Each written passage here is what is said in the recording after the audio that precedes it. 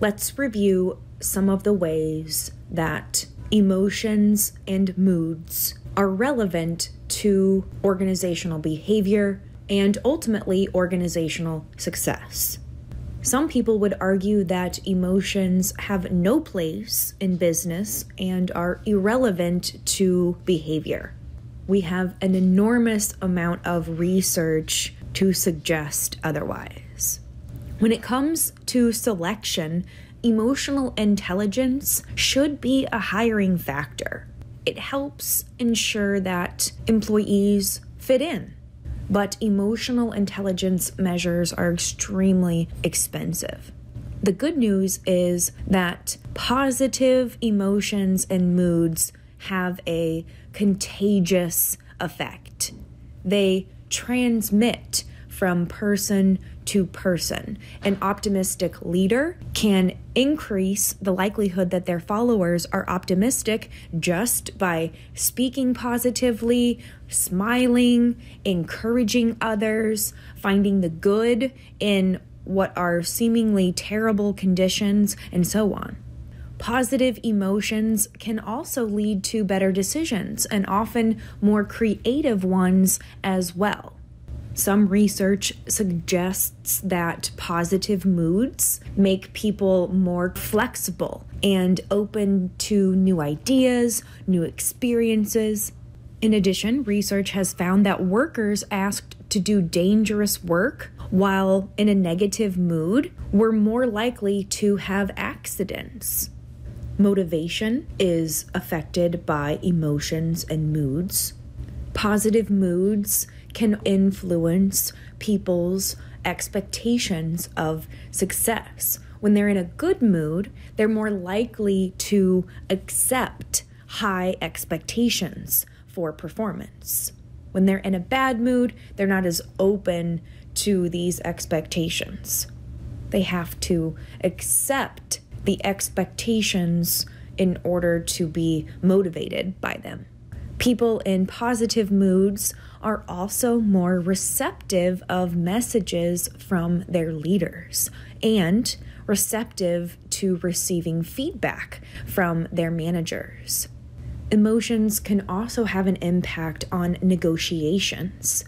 Generally speaking, the best negotiators are those that remain emotionally neutral. In other words, they don't express emotion displaying emotion during negotiations, whether positive or negative, tends to have a negative effect on one's outcomes.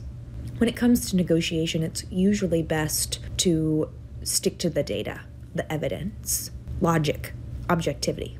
Affect can influence customer service as well, ranging from impacting people's attitudes, both employees and customers, clients, patients.